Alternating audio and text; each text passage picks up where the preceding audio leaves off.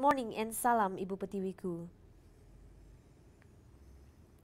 The Sarawak government will continue to provide support to future Pacific Partnership missions in the state as it reflects the strong cooperation among the US Navy and the Malaysian Armed Forces.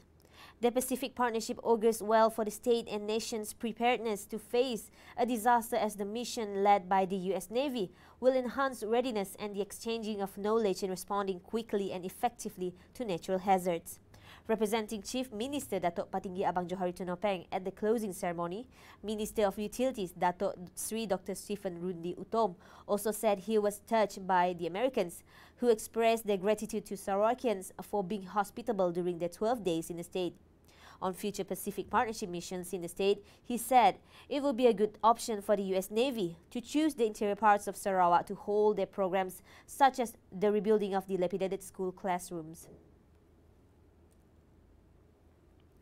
Huawei Malaysia has further strengthened its strategic partnership with the Sarawak government by signing a joint Memorandum of Understanding MOU to continue supporting the state's digital economy transformation agenda, specifically in the domain of digital talent development and technology innovation. The joint MOU was signed with the Centre of Technical Excellence Sarawak, CENTEX, and Sarawak Multimedia Authority, SMA, during a recent ceremony in Shenzhen, China, where State Secretary Tan Sri Dato Amar Muhammad Morshidi Abdul Ghani signed on behalf of the Sarawak government, while Huawei Technologies, Malaysia's Sdn Bhd Enterprise Vice President Oliver Liu signed for Huawei.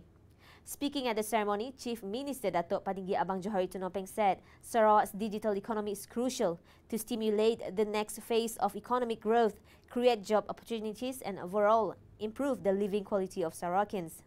He added, through the establishment of CENTEX Digital Academy, with the current and upcoming digital programs pioneered by CENTEX and Huawei, they are confident that the future ICT digital talent supply pipeline is well guaranteed to support Sarawak in realizing the vision of digital economy as a developed and high-income state by 2030.